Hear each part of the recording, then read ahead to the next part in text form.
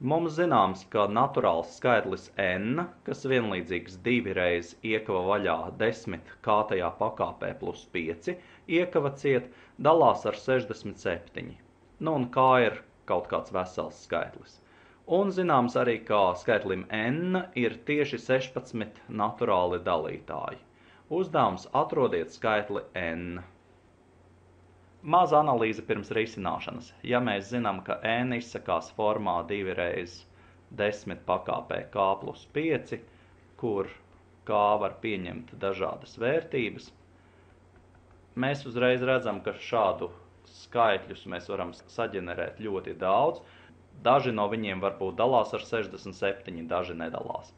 Viens veids, kā rīkoties, varētu būt eksperimentēt, sākt ar mazajiem k skaitlīšiem – un mēģināt atrast, varbūt, ka mēs arī kādu atradīsim, bet uh, ievērosim to, ka šo skaitļu ir bezgalīgi daudz, un mums tā kā ir uzdevums atrast n, tad tāpatās kā risinot jebkuru vienādojumu, mums vajadzētu varēt pamatot, ka mēs esam atraduši visas iespējamās vērtības un ka citu bez mūsu atrastajām vērtībām nav. Protams, šeit jāizmanto gan šis pieraks, gan jāizmanto tas, ka skaitlim n ir tieši 16 dažādi dalītāji.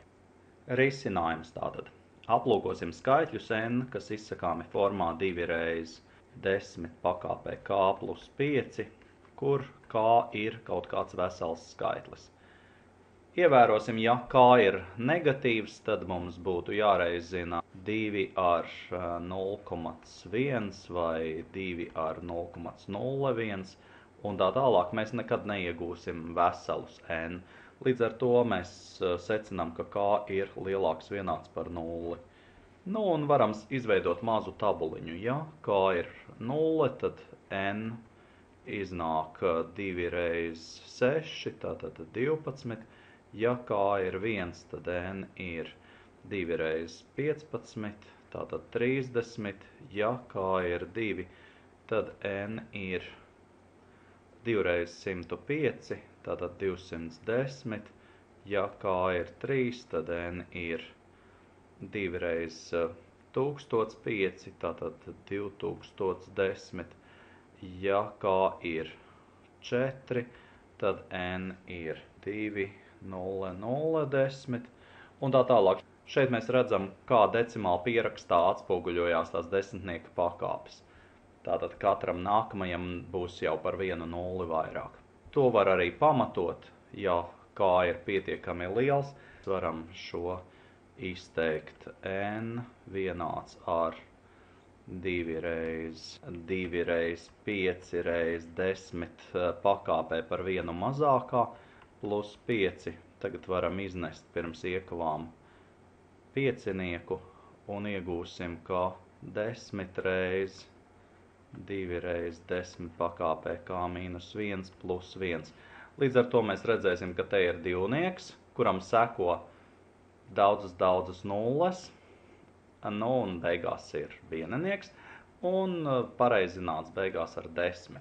Līdz ar to viņi visi, sākot ar šo vietu, izskatīsies tā kā divnieks ar daudz, daudz, daudz nullēm un beigsies ar 10. Tagad, kad mēs zinām, kā šie skaitļi izskatās, noskaidrosim, kuri no viņiem dalās ar 67. 12 noteikti nedalās, 30 un 210 arī nedalās, 2010 dalot ar 67 iegūsim 3, 201, dalījumā sanāk 30. Tātad šis ir vismaz cerīgs rezultāts. Mēs vēl neesam pārbaudījuši, vai viņam ir tieši 16 dažādi dalītāji. Nu, un tālāk ejot, mums atkal būs daži, kas neizdalīsies. Tālāk ejot vēl citas kā vērtības, varbūt pat bezgalīgi daudzas kā vērtības, kurām atkal n, kas nu tur iznāks, izskatā ar daudzām nullēm un beigsies ar desmit, kad izdalīsies ar 67. Mēs redzam, ka mums vajadzētu, lai visus tos no, izkontrolētu, šos bezgalīgi daudzos skaitļus, mums vajadzēs uh, izmantot otru uzdevuma nosacījumu. Tas ir to, ka skaitlim n ir tieši 16 dažādi dalītāji. Visos gadījumos, kur ir runa par skaitļa dalītāju skaitu, mēs varam atsaukties uz sekojošu teorēmu. Es viņu šeit nepierādīšu, bet nu, mēs viņu drusku noilustrēsim. Tātad teorēma. Ja n sadalījums pirmreizinātājos ir pirmskaitlis 1 pakāpē A1, P2 pakāpē A2, tad mēs izsakam viņu kā daudzu pirmskaitļu reizinājumu. Mēs zinām, ka ikvienu skaitli var izteikt šādā formā. Varbūt, tas ir tikai viens pirmskaitlis, varbūt tā ir pirmskaitļa pakāpe, varbūt tā ir vairāku pakāpju reizinājums. Dalītāju skaits ir tieši A1 plus 1 reiz A2 plus 1 reiz un tā tālāk reiz AM plus 1. Pierādījuma nebūs, to jūs varat atrast literatūrā, bet šeit mēs izmantosim mazu ilustrāciju. Tātad 2010 izsakās kā 2 reiz 3 reiz 5, tas kopā dod to 30, reiz 67. Noskaidrosim, cik viņam ir dalītāji. Tad 2 pirmajā pakāpē, 3 pirmajā pakāpē, 5 pirmajā pakāpē un 67 pirmajā pakāpē. Pēc eh, šī rezultāta vajadzētu sanākt, ka viņam dalītāji ir 1 plus 1 reiz 1 plus 1 reiz 1 plus 1 reiz 1 plus 1. Tātad tieši 16 dažādi dalītāji.